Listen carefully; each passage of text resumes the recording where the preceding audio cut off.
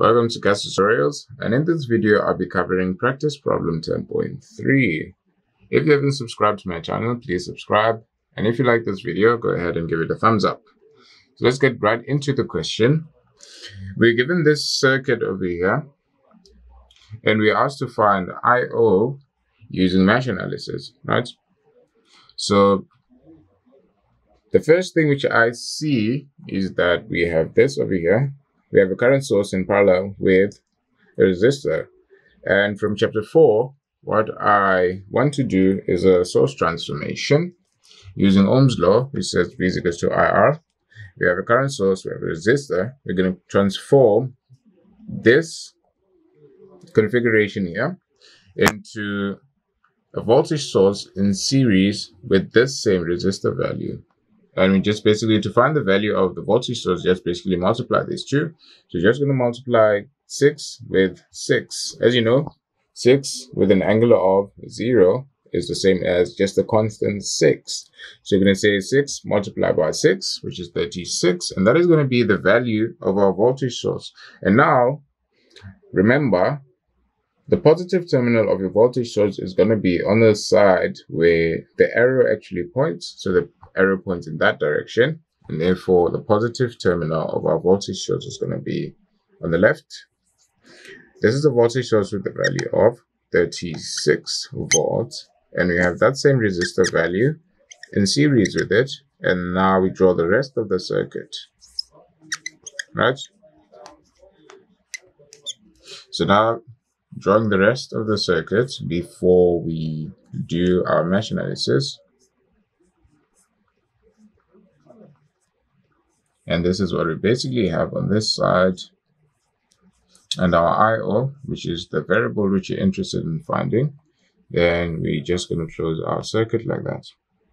So now we can put labels in these loops so we can easily identify the currents which are associated with each loop. I'm going to call this I1.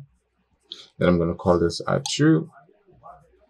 Now, if you look at the direction of I1, it goes in that direction, and IO actually goes in the opposite direction. And therefore, IO is equal to negative I1. So essentially, to solve this problem, we're essentially interested in finding I1. After finding I1, I1 is actually going to give us IO. So after finding I1, we're going to find the negative of I1, which is going to be IO. So let's do that quickly. Starting with the first mesh, so we're going to say mesh with I1 or mesh I1, whatever you want to call it. This first mesh over here. Going around, we have 8 I1 subtract J2 multiplied by I1 plus J4, which is over here. It is shared and here's a rule which I use for shared impedances or shared resistor values. You multiply that value by the, the mesh current which you're currently dealing with. You're currently dealing with I1. Then you subtract the other one which it actually shares with. It shares with I2. So this impedance is shared between I1 and I2, but we're now dealing with mesh I1, and therefore we say I1 subtract the other one. So whatever you're dealing with, subtract the other one which it shares with, right? And that is how I computed that. You can also look at the, the top node and just analyze it from there. You'll find just about the same thing. But that is just my convention. Uh, that is just a quick way which I use to remember how to formulate these, these things. So we have one, two, three elements in our mesh, one, two, three terms, and that checks out. So you can now simplify this and say I1, we have I1 there. So we're going to have 8 plus J4 multiplied by I1. Then we're going to have negative, so this is J4 multiplied by, by that, which is negative J4, right? So that is what we have there. And this is associated with our I2. So negative J4, I2, and we have nothing else associated with I2. So this is our formula which we found from our first mesh. So it's just going to be that as equals to zero. So this is the first equation or the first formula which you have. Moving on now to mesh I2 or mesh 2. Starting with the shared impedance, we are going to have J4. And as I said, the convention which I use, the current which we are working with, subtract the other one which it shares with, then we're going to say plus 36, which comes from the value of the voltage source over there. This is plus minus, don't forget.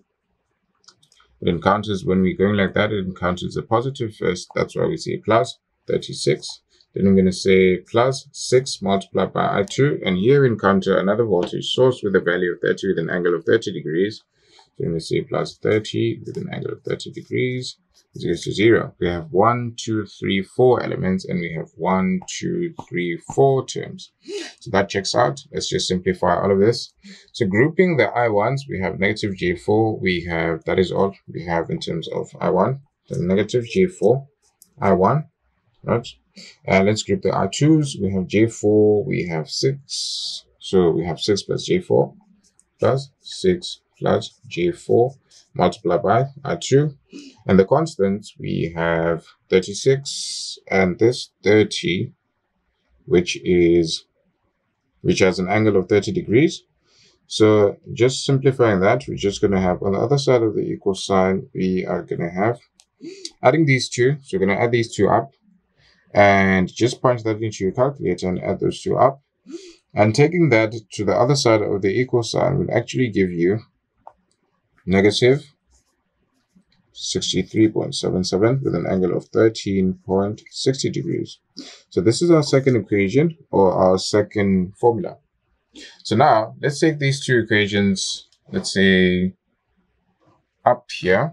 So we write them down. So the first equation says 8 plus J4 I1 subtract J4 I2 is equal to 0. And the second equation says negative J4 plus 6 plus J4 I2 is equals to we have a value of here we have negative 63.77 with an angle of 13.60 degrees. So this is what we have. These are the two equations which we have. And our aim is to actually solve for I1. We don't actually have to solve for I2 because we aren't interested in really finding I2. The question said we should find IO, and that is a relationship with I1. So let's focus on finding our I1 and that, that I1, we're going to negate that, and it's going to help us to find our IO. So I'm going to use Cramer's rule and just group all of these into matrices, right? So 8 plus, so the value which you have here is, um, so let me just have a recap on what I just did here. So this is negative, this is associated negative J2, that is, so this should be 2, sorry, because we have J negative J2 here, and we have J4 over there. So J4 subtract J2 is going to be plus J2. So we have plus J2 over there. Let me just quickly check everything else to make sure I haven't made any other mistakes. So everything else looks fine. Okay. So here we have 8 plus J2. And next we have negative J4. Over here we have negative J4 and here we have 6 plus J4 and here we're going to have I1 I2 which are variables on other other side of the equal sign we have 0 and 63 negative 63.77 with an angle of 13.60 this is what we have up here just so here it's not quite clear because it's squashed. So it's negative 63.77 with an angle of 13.60 degrees.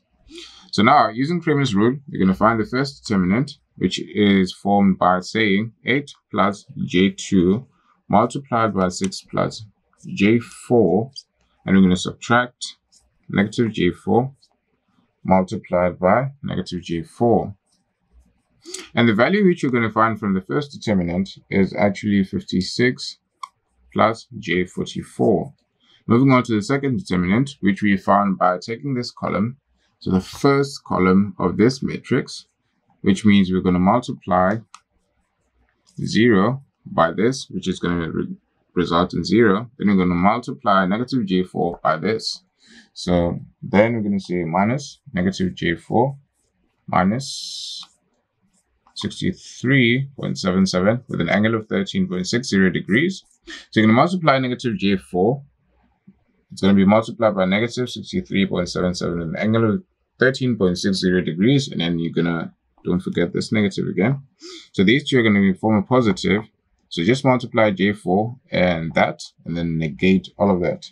So the value which you're going to get is delta 1 is equals to 255.08 with an angle of negative 76.4 degrees. Now that you have these two, we can easily find I1 because according to Cramer's rule, I1 is equal to delta 1 divided by delta. So this is what we're going to have. We're going to divide this value by that value.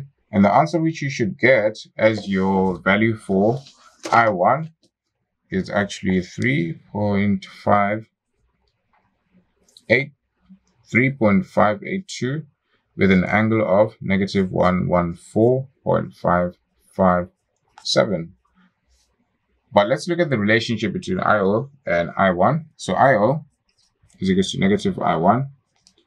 So just put negative here and some brackets in your calculator and you're going to find the actual value of your IO. And you should find your IO to be 3.58 with an angle of 65.44 degrees in amperes.